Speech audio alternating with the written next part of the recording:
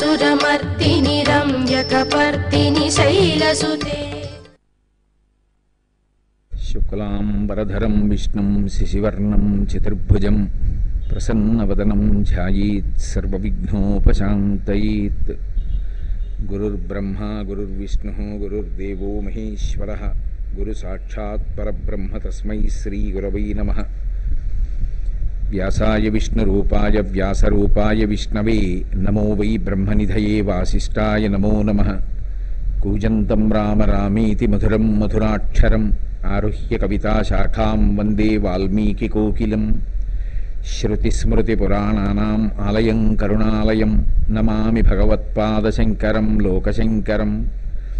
వాగర్ధావివ సంపృక్తౌ వాగర్ధప్రతిపత్తయే జగతపితరౌ వందే పార్వతీపరమేశ్వరౌ సూక్తిం సమగ్రయతున స్వయమేవ లక్ష్మీ శ్రీరంగరాజమహిషీ మధురై కటాక్షై వైదగ్ధ్యవర్ణగుణగుంభనగౌరవైర్యాం కండూలకర్ణకుహరా కవయోధయంతి హైమోర్ధ్వపుండ్రమజహన్మకుటం సునాసం మందస్మితం మకరకుండలచారుగండం బింబాధరం బహుళదీర్ఘకృపాకటాక్షం శ్రీవేంకటేశముఖమాత్మని సన్నిధత్తాం విమలపటి కమలకుటి పుస్తక రుద్రాక్షశస్తహస్తపుటి కామాక్షి పక్ష్మలాక్షి కలిత విపంచి విభాసి వైరించి మాణిక్యవీణాముపలాలయంతీం మదాలసాం మంజులవగ్విలాసాం మహేంద్రనీలద్యుతి కోమలాంగీం మాతంగకన్యాం మనసా స్మరామి హరి ఓం పరమేశ్వర స్వరూపమైన సభకి నమస్కారం। నేను నీతో మనవి చేసి ఉన్నాను। దుర్గాస్వరూపం నవదుర్గాస్వరూపంగా భాషించింది। ఒక్క దుర్గయే తొమ్మిది రూపాలని ధరించింది. ఆ తొమ్మిది రూపాలని ధరించడం దీని కొరకు అంటే కేవలముగా ఏదో ఒక రూపం తొమ్మిదిగా భాషించాలనేటటువంటి సిద్ధాంతం చేత కాదు. అమ్మవారు ఒక్కొక్క రూపాన్ని స్వీకరించింది అంటే దాని వెనక ఒక తాత్పర్యం ఉంటుంది. దాని వెనక లోకానికి ఎన్నో విశేషాల్ని ఆవిడ ప్రబోధం చేస్తుంది. అలాగే ఆవిడ అనుగ్రహ శక్తిని విశదీకరింపచేస్తుంది. ఈ క్రమంలో ఆవిడ పొందినటువంటి ఆ తొమ్మిది రూపాలు లోకంలో విశేషమైనటువంటి ప్రసిద్ధి వహించాయి.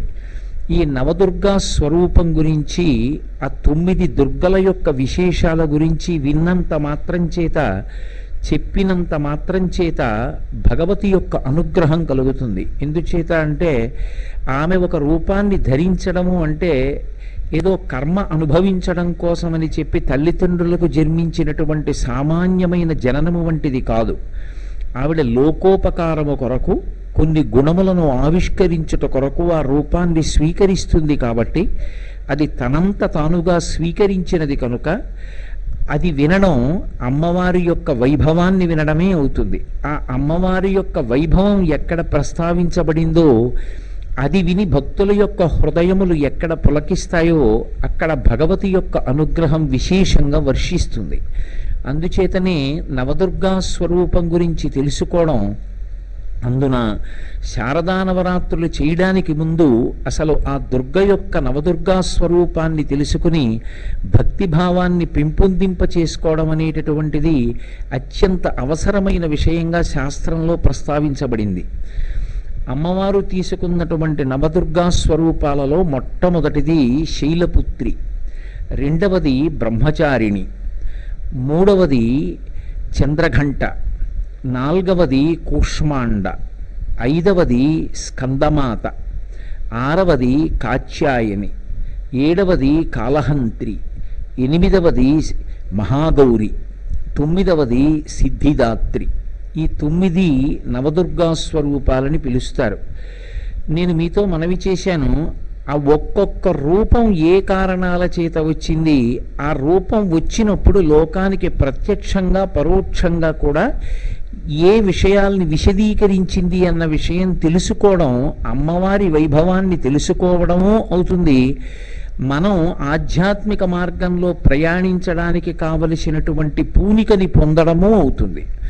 మొదటిది శైలపుత్రి. శైలపుత్రి అంటే పర్వతము యొక్క కుమార్తె అని.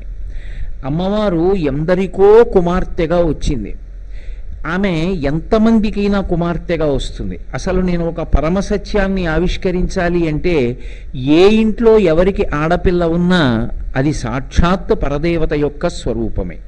ఎందుచేత అంటే ఇంద్రుడు చేసినటువంటి లక్ష్మీ స్తోత్రంలో ఒక మాట అంటాడు గృహలక్ష్మి గృహే గృహే. లక్ష్మీదేవి ఎక్కడ ఉంటుంది అంటే ప్రతి ఇంటి ఇల్లాలి స్వరూపంలో ఉంటుంది. ఒక చోట పుట్టిన ఆడపిల్ల వేరొక చోట ఇల్లాలవుతుంది. అయినప్పుడు ఆమె సాక్షాత్తుగా లక్ష్మీ స్వరూపిణి కాక పరదేవతా స్వరూపిణి కాక వేరొకటి ఎందుకు అవుతుంది ఆమె అమ్మవారి స్వరూపమే అవుతుంది. కాబట్టి అమ్మవారు కూడా ఎంతమందికైనా కుమార్తెగా వస్తుంది. అందులో అభ్యంతరం లేదు. పరమభక్తితో అమ్మా నాకు నువ్వు కుమార్తెగా రావాలమ్మా అని అడిగిన వాళ్ళందరికీ ఆమె కుమార్తెగా వచ్చింది. నేను మీతో కొన్ని ఉదాహరణలు ప్రస్తావన చెయ్యాలి అంటే ఇప్పటికీ మనకి దక్షిణ దేశంలో ప్రసిద్ధి వహించినటువంటి దేవాలయం మధురై. అక్కడ మలయధ్వజుడనేటటువంటి రాజు అమ్మవారిని అడిగాడు నాకు కుమార్తెగా రమ్మని. మీనాక్షి అన్న పేరుతో వచ్చింది. అలాగే ఒకనాడు కాత్యాయన మహర్షి అడిగాడు కాత్యాయని అన్న పేరుతో వచ్చింది. ఆయన యొక్క కీర్తిని నిలబెట్టడానికి దక్షుడు అడిగాడు దాక్షాయణి అన్న పేరుతో వచ్చింది. భృగు అడిగాడు భార్గవి అన్న పేరుతో వచ్చింది. జనకుడికి జానకి అన్న పేరుతో వచ్చింది. వృషభానుడికి రాధా అన్న పేరుతో వచ్చింది. హిమవంతుడికి హైమవతి అన్న పేరుతో వచ్చింది. అమ్మవారు ఎప్పుడెప్పుడు ఎవరెవరు పరమభక్తితో తమ కడుపున కుమార్తెగా ఆమె జన్మించాలని కోరుకున్నప్పటికీ అవతార స్వీకారం చేసి అలా కోరుకున్న భక్తుల్ని అనుగ్రహించడానికి కుమార్తెగా వస్తుంటుంది. అది లెక్కలేని కారుణ్యమునకు లెక్క పెట్టలేని కారుణ్యమునకు ప్రతీక. అందుకే లలితా సహస్రనామ స్తోత్రంలో ఆవిడ గురించి చెప్తూ ఒక నామం చెప్తారు అవ్యాజ కరుణామూర్తి. ఆ ఆమె యొక్క కారుణ్యానికి ఒక ప్రత్యేకమైన కారణం ఉండనే ఉండదు. ఇక మనస్ఫూర్తిగా ఆవిడ్ని కూతురుగా కావాలని కోరుకున్న వాళ్ళ యొక్క కోరిక తీర్చడానికి కూతురుగా వస్తుంది తప్ప గత జన్మలలో చేసుకున్నటువంటి కర్మల యొక్క ఫలితములను అనుభవించడానికి ప్రాకృతమైనటువంటి మనుష్యులు ఎలా జన్మిస్తారో అలా పాంచభౌతికమైనటువంటి శరీరమును తీసుకోవలసినటువంటి అగత్యం ఉన్నది కాదామె. భక్తుల యొక్క కోరిక తీర్చడానికి కుమార్తెగా వస్తూ ఉంటుంది. అలా వచ్చినటువంటి అవతారాలలో పరమ ప్రఖ్యాతమైనటువంటిది శైలపుత్రి.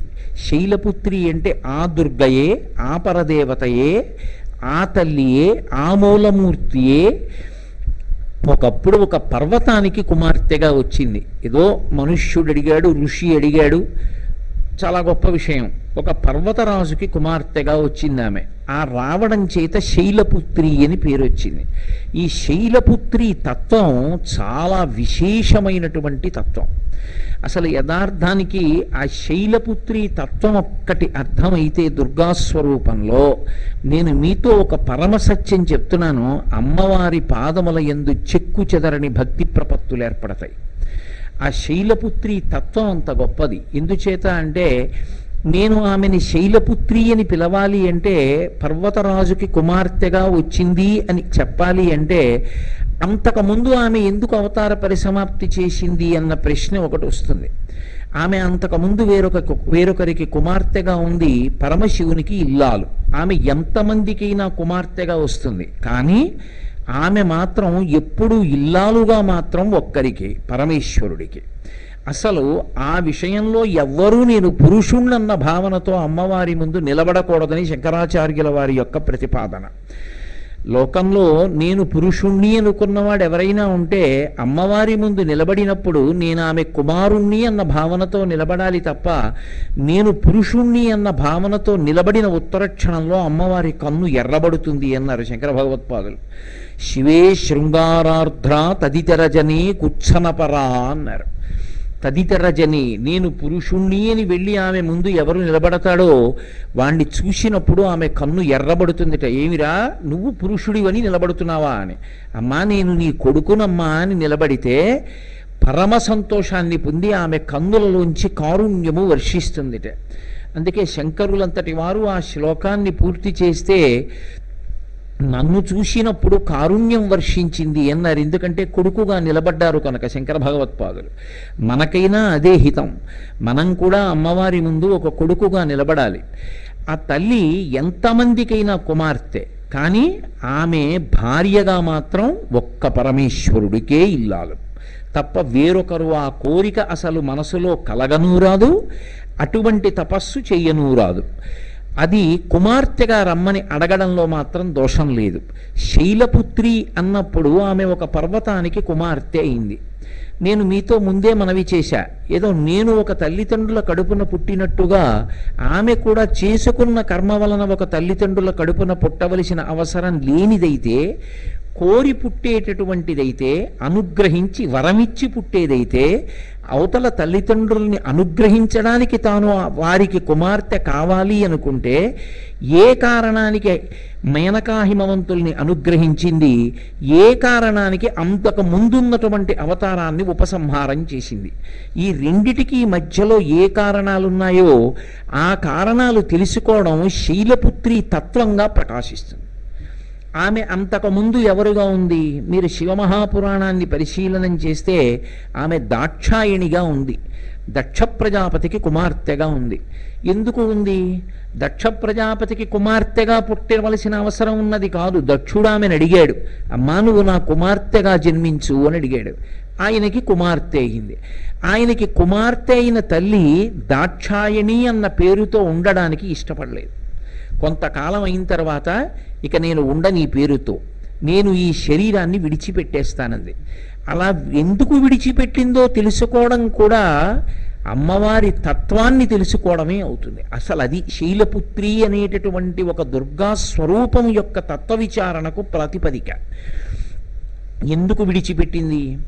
అంటే దక్ష ప్రజాపతికి పరమశివుడు అల్లుడు అని అనిపించుకోవడానికి కారణం అమ్మవారు కుమార్తెగా అనుగ్రహించింది కనుక లేకపోతే పరమశివుడు అల్లుడు ఎందుకు అవుతాడు? అంతటి మహానుభావుడు అల్లుడవడానికి అమ్మవారి అనుగ్రహం కారణమైంది అని తెలుసుకోలేక లౌకికమైన బాం బాంధవ్యాన్ని ఆలోచించాడు. నాకు అల్లుడు కాబట్టి నేను పెద్దవాణ్ణి కాబట్టి మామగారిని కాబట్టి నన్ను చూసినప్పుడు లేచి నిలబడాలి గౌరవించాలి నమస్కరించాలన్నాడు. పరమశివుడు మాట్లాడు మహాజ్ఞాని తనలో తాను రమిస్తుంటాడు నవ్వి ఊరుకున్నాడు. కానీ కక్ష పెంచుకున్నాడు ఎల్లాగో అల్లా పరమశివుడికి కోపం తెప్పించాలి. ఒక్క పరమేశ్వరుడికే ఒక నామం ఉంది సదాశివ అని. ఈశాన సర్వ విద్యానాం ఈశ్వర సర్వభూతానాం బ్రహ్మాధిపతి బ్రహ్మణోధిపతి బ్రహ్మా శివోమి అస్తు సదాశివోం ఆయన సదాశివుడు. సదాశివుడు అన్న మాటకు అర్థం ఏంటంటే ఎప్పుడూ మంగళప్రదుడు. ఆయన ఎందు అవగుణములు ఉండవు. అందుకే ఆయనకి కామక్రోధములు ఉండవు ఆయనకి. ఉండనివాడు కాబట్టి ఆయనకి కోపం రాదు. అవతలవాడేదో రెచ్చగొట్టాడని తాను కోపాన్ని పొందేవాడు కాడు. కోపం వచ్చినా దాన్ని మౌనంలోకి తీసేసుకుంటాడు. అసలు ఆ కోపం ఎందుకు వస్తుంది అంటే లోకాన్ని ఉద్ధరించడం కోసం మాత్రమే వస్తుంది తప్ప వ్యక్తిగత కారణాల వల్ల కోపాలు తెచ్చుకునేవాడు కాడైన. అంతటి మహానుభావుడు కనుక ఆయన మిన్నకున్నాడు. ఆయన మిన్నకుండడం దక్ష ప్రజాపతికి కంటకింపైంది ఏదో ఒకటి అనాలి కదా. నేను నిందిస్తున్నప్పుడు ఏమి అనడేమిటి అందుకని పరమేశ్వరుణ్ణి రెచ్చగొట్టాలనుకున్నాడు. నిరీశ్వర యాగాన్ని సంకల్పం చేశాడు. నేను ఈశ్వరుడికి హవిస్సు లేని యాగం చేస్తానన్నాడు. ఇప్పుడు దక్ష ప్రజాపతికి భయపడి అనేక మంది దేవతలు ఋషులు ఆ యాగానికి వెళ్ళారు. ఊరుకుంటే లోకం దారి తప్పుతుంది. పరమశివుణ్ణి పక్కన పెట్టి యజ్ఞాలు యాగాలు చెయ్యడం మొదలు పెడితే అది లోకోపకారానికి పనికొచ్చేవి కావు. అవి మంగళప్రదాలు కావు లోక కళ్యాణ కారకములు కాలేవు. ఇది లోకానికి చెప్పాలి. అందుకని అమ్మవారు బయలుదేరింది. బయలుదేరి వెళ్ళి దక్ష ప్రజాపతిని ఆవిడ ఒక ప్రశ్న వేసింది. అసలు అది శైలపుత్రి తత్వం అంటే అది. ఆమె యొక్క పాతివ్రత్యాన్ని ఆవిష్కరించింది. ఆవిడ మహాపతివ్రత. ఒక్క సనాతన ధర్మంలో స్త్రీకి ఒక ధర్మం ఉంది. ఏమిటా ధర్మం అంటే పతివ్రతా ధర్మం. పతిని అనుగమించినటువంటి స్త్రీ ఎవరు ఉంటుందో ఆమెకి దివ్యమైనటువంటి శక్తులు వస్తాయి ఒక పురుషుడు మహోగ్రమైన తపస్సు చేస్తే ఎటువంటి స్థితిని పొందుతాడో త్రికరణ శుద్ధిగా పతిని అనుగమించినటువంటి స్త్రీకి కూడా అదే శక్తి అలవడుతుంది.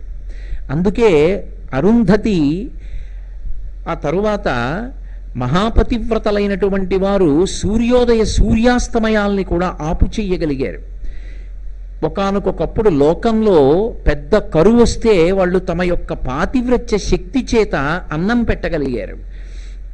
అక్కడ మీరు ఒక ధర్మాన్ని మాత్రం ఎప్పుడూ జ్ఞాపకం పెట్టుకోవాలి. తెలిసి తెలియని వాళ్ళు ఒక మాట అంటుంటారు పురుషుడు ఎటువంటి వాడైనా ధర్మం అలాగే ఉంటుందా అంటుంటారు.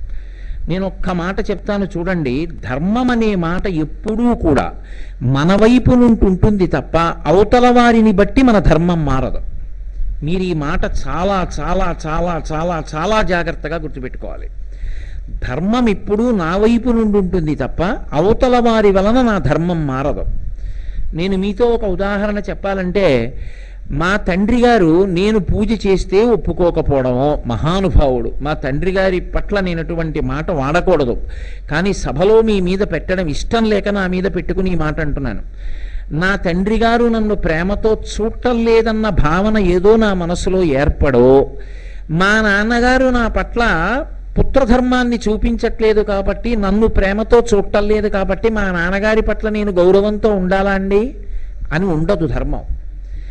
నువ్వు కొడుకుగా ప్రవర్తించేటప్పుడు నీ పుత్రధర్మాన్ని నిర్వర్తించేటప్పుడు నీ తండ్రి ఎలా ఉన్నాడని ప్రశ్నించే అధికారం నీకు లేదు. నీ తండ్రిని నువ్వు సేవించడమే నీ ధర్మం అంతే. తండ్రిని బట్టి సేవించడం ఉండదు. తల్లిని బట్టి సేవించడం ఉండదు. నువ్వు ఒక కార్యాలయంలోకి వెడితే అధికారి ఎటువంటి వాడు నీకు అనవసరం. ఆయన అధికారి ఆయన ఆసనంలో ఉన్నారు. నువ్వు నమస్కరించాలి. ఎందుచేత అంటే ఆయన విష్ణువాంశలో ఉన్నాడు పరిపాలకుడు. కాబట్టి నువ్వు ఉత్తర క్షణంలో నమస్కరించాలి. అది నీ ధర్మం. నీ వైపు నుండి ధర్మం ఉంటుంది. ఆయన ఎటువంటి వాడు దాన్ని బట్టి దండం పెడతాను అనకూడదు. ధర్మం ఎప్పుడు మన వైపు నుండి ఉంటుంది. పతివ్రత ధర్మము అంటే పతిని అనుగమించుట. ఒకవేళ భర్త మంచివాడు కాకపోతే అది ఆయన కర్మ. అది ఆయన తప్పు. ఆమెకి మాత్రం తప్పు రాదు ఆమె అనుగమించింది. అక్కడే చాలామంది పొరపాటు పడుతుంటారు. సతీ సుమతి అంత సేవ చేస్తే భర్తకి భర్త పరకాంతని కోరితే బుట్టలో పెట్టి తీసుకెళ్ళింది కదా అటు భర్త అటువంటి కోరిక కొడితే భార్య తీసుకెళ్ళచ్చా అంటారు. ఆమె తన వైపు నుండి భర్త సుఖాన్ని అపేక్షించింది తన ధర్మాన్ని తాను పూర్తి చేసింది ఒకవేళ పరస్త్రీని కోరుకున్న పాపం భర్తదైతే ఆ పాపాన్ని అనుభవించవలసిన వాడు ఆయన. ఆమె మాత్రం తన ధర్మంలో తాను నిలబడిపోయింది. ఇది ఏ ఇతర విశ్వాసములకు చెందినది కాదు. మీరు పశ్చిమ దేశాల యొక్క సంస్కృతి చూస్తే ఇవాళ పెళ్ళి చేసుకుంటారు రేపు విడిచిపెట్టేస్తారు. ఒక స్త్రీ పది మందిని పెళ్ళి చేసుకుంటుంది ఒక పురుషుడు యాభై మందిని పెళ్ళి చేసుకుంటాడు. అసలు ధర్మం అన్న మాట వైవాహిక జీవితంలో దంపతుల మధ్య ఉండవలసినటువంటి అవగాహన అన్న మాటలే తెలియనటువంటి హీనాతిహీనమైన సంస్కృతి కలిగినవి మిగిలిన దేశాలు. అలా కాకుండా పతివ్రత ధర్మమున్నది భార్య కంట నీరు ఒలికితే లక్ష్మీదేవి ఏడిచినట్టయి ఐశ్వర్యం పోతుందని భర్తని పరమ ప్రేమతో చూడవలసిన కర్తవ్యం పురుషుడుకున్న ధర్మం. ఒకరికొకరు చావో రేవో ఇక మంగళసూత్రం కట్టిన తరువాత మరణించే వరకు ఆమె తోడిదే జీవితం. ఆమెకు ఆయన తోడిదే సమస్తం. అలా బ్రతకడం ఉన్నది ఒక్క సనాతన ధర్మంలోనే. ఇంకా ఎక్కడా ఈ ధర్మం లేదు. ఈ ధర్మానికి ఆది ఎక్కడుంది? మహాపతివ్రతాస్వరూపిణి అయిన అమ్మవారి ఎందున్నది? ఎందుచేత? ఆది కుటుంబిని మొదటి కుటుంబం వాళ్ళదే పార్వతీ పరమేశ్వరులదే. శంకరాచార్యుల వారు శివానందలహరి చేస్తూ నిత్యాయ త్రిగుణాత్మనే పురజితే కాత్యాయని శ్రేయసే సత్యాయ ఆద్య కుటుంబిని మునిమన ప్రత్యక్ష చిన్మూర్తయే అంటారు. ఆద్య కుటుంబిని మొదటి కుటుంబం వాళ్ళదే. అయినప్పుడు ఆ తల్లి పతి మహాపతివ్రత. ఆమె ఏదో నటించి చూపించడం కాదు. మహాపతివ్రత అయినటువంటి తల్లి కనుక ఆమె తన భర్తని తిరస్కరించడం తండ్రి చేసినా ఒప్పుకోదు. ఆమెకి తన భర్త కన్నా గొప్పవాడిక లోకంలో లేడు. పతి నింద ఆమె సహించదు. బిడ్డలైన ఋషులు చేసినా దేవతలు చేసినా తన తండ్రే చేసినా దానివల్ల వచ్చే ఉపద్రవాన్ని లోకానికి చెప్తుందని ప్రేమ. సహించదు పాతివ్రత్యం. ఇది శైలపుత్రి అనబడేటటువంటి దుర్గా అవతారానికి ముందు జరిగినటువంటి నేపథ్యం. కాబట్టి ఇప్పుడు ఆవిడ వెళ్ళి ఒక ప్రశ్న వేసింది దక్ష ప్రజాపతిని మా ఆయన గురించి చులకన చేసి మాట్లాడుతున్నావు నువ్వు. తక్కువ చేసి మాట్లాడుతున్నావు ఆయన గుణగలాలు అర్థం కాక. ఆయన కన్నా బ్రహ్మ గొప్పవాడు అంటున్నావు. బ్రహ్మగారిని ఆహ్వానించావు సభకి. నేను ఒక్క ప్రశ్న అడుగుతాను చెప్పు. ఆయన నిజంగా అంత పనికి మాలినటువంటి వాడు అని నువ్వు అనుకుంటూ ఉంటే నృకపాల జనాధరుడున్ పరేతభూచరుండు పిశాచయుక్తుడని శర్వులమంగళుగా తలంపరెవ్వరున్. మరి వాక్పతి ముఖ్యులం మహాత్ము చరణ సరోజములం సమ్మతితాల్సరే మస్తకంబులం. ఏమయ్యా బ్రహ్మగారిని పిలిచావు కదా సభకి నేను ఒక ప్రశ్న అడుగుతున్నాను. పరమశివుడి గురించి ఏవేవో అక్కరమాలినటువంటి దుష్ప్రచారపు మాటలు మాట్లాడుతున్నావు. బ్రహ్మగారిని సభకి పిలిచావు. ఆ బ్రహ్మయే పరమశివుని యొక్క పాదముల అడుగున అంటుకున్నటువంటి మట్టి తీసి తన నాలుగు తలల మీద చల్లుకుంటూ ఉంటాడే. మరి పరమశివుని యొక్క పూజార్హత నీకు అర్థం కాలేదా అని అడిగింది. తండ్రి మాట్లాడలేదు.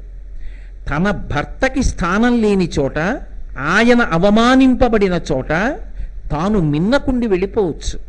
కానీ వెళ్ళిపోతే శివుడు ఒక నవ్వు నవ్వి ఊరుకుంటాడు. ఆవిడకు ఒక తత్వం ఉంది. వేదం ఆవిడ గురించి చెప్తూ యజుర్వేదం ఒక మాట ఉంది శివా విశ్వాహ భైషజీ శివా రుద్రస్య భైషజీ అంది. ఆమె బిడ్డలుగా భావించి లోకానికంతటికీ పాఠం చెప్తుంది. పాఠం చెప్పడం కోసం శివుణ్ణి రుద్రుణ్ణి చేస్తుంది. అదే తల్లి బిడ్డలకి ఉపకారం చెయ్యాలనుకున్నప్పుడు రుద్రుణ్ణి శివుణ్ణి చేస్తుంది. మళ్ళీ ఆయన కోపం తగ్గించి ఆయన్ని తండ్రిగా కూర్చోబెడుతుంది. అంటే నిజంగా ఆయనకి కోపం వస్తుందా? రాదు. సదాశివోం. మన కోసం కోపం తెచ్చుకుంటాడు. మనని దారిలో పెట్టడం కోసం. శివుణ్ణి రుద్రుణ్ణి చెయ్యాలి. లేకపోతే ఆయన నవ్వుతూ కూర్చున్నాడు. వీళ్ళు గాడి తప్పిపోతున్నారు.